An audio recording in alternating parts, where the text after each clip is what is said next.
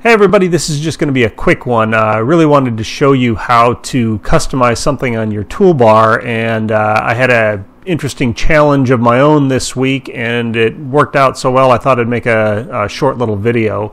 Uh, what I wanted to do was um, make some screenshots of, of my scene, and uh, FreeCAD has a, a, neat screenshot tool built right into it, and uh, um, but it, it it takes a little bit of kind of monkeying around manually in order to get things to work. So what I, I really want to do is make the windows uh, kind of float and then make this window be a particular size and then I want to do uh, tools um, save picture with extended and I want to set this to a particular size for my screen or for the, the image that I want. And I want the background to be white.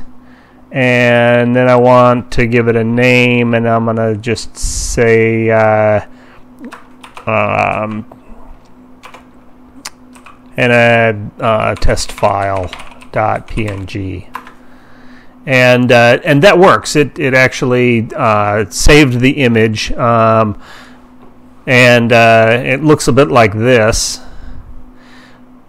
But that uh, what I want to do is I want to do that over and over again, and I always want my image to to look the same. So once I size this window, I really want to do like a view fit. And, uh, and get the perspective the same so that every time I take the picture, it's from the same perspective with the same size. So um, I decided to, to write a macro to do that. Um, and this is what I, I put together with a little help from, uh, from the forum. Uh, and I'm going to go through this real quick, but line by line.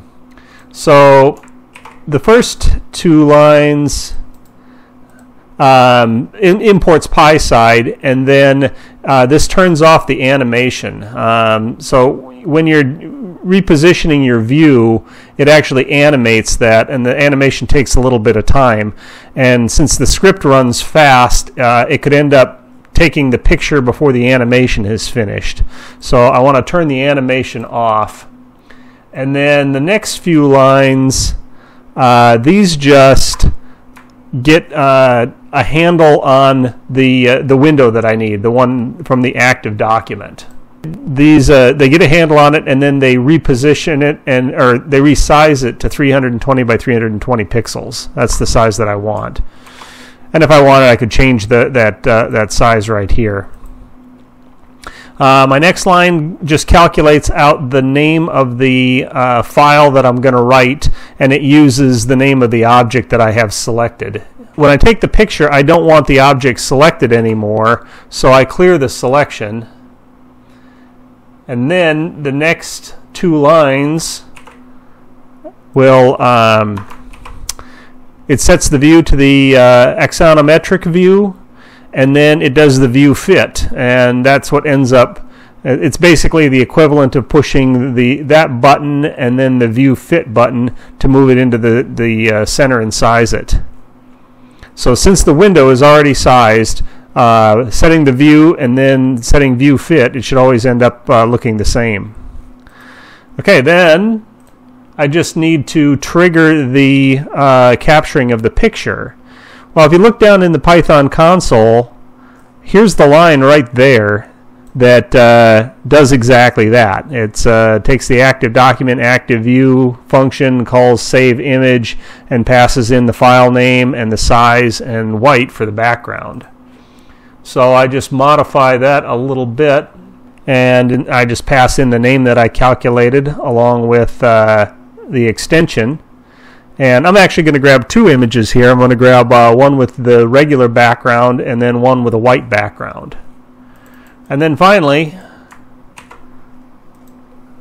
I uh, turn the animation back on on my active doc or active window, active view.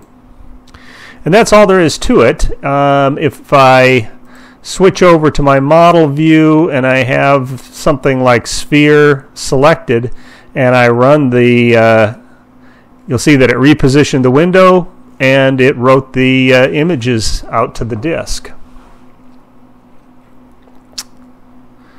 Okay, so now that works fine in the macro, but what I really want to do is I want to have a toolbar button that I can uh, uh, hit to run that every time. So how do you customize your toolbar for to run a macro? Well, if right click on the toolbar area, there's an item here for customize. And if you switch to the macros section, and then look in the uh, drop down and find the macro that you wrote. Mine is called uh, screenshot, like that. And you have to give it some sort of menu text. And you got to pick an icon for uh, for the button. And you can use any of the existing FreeCAD icons. Um, and I'm just gonna let's see. I'll pick. Uh, I'll pick this eyeball. And then you add this uh, to the list. So these are the uh, setup uh, macros that are that are already mapped here. And basically, this just maps a uh, a macro uh, to a command. To uh, um, it gives it an icon and and sets up the properties so that it can be used as a button. All right, then you switch to toolbars, and I want this to be everywhere visible in FreeCAD. So I'm going to go to Global, and under Global, I have no custom toolbars that I can add to. So I have to create a new one, and you can give it any name you want. I don't even know if the name of the toolbar matters. It'll show up in the View Toolbars dialog or uh, menu item, I think. So I'll uh, I'm just gonna I'll call it Custom One. I'll leave it at the default.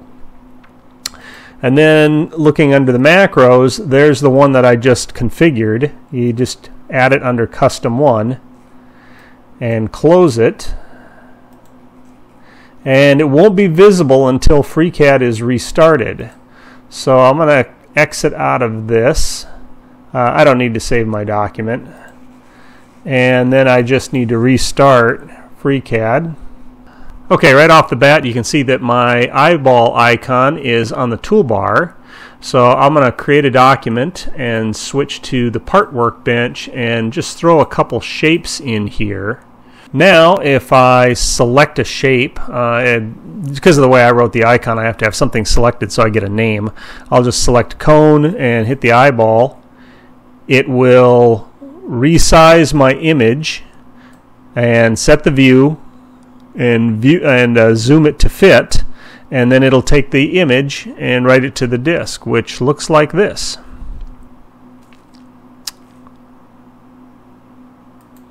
All right, that's a quick and dirty on how to customize your toolbar. Uh, there's a lot of power in that for customizing your own workflow. I hope that helps, and uh, maybe if you need to make screenshots or something, the rest of this will help too. Let me know what you think. Thanks.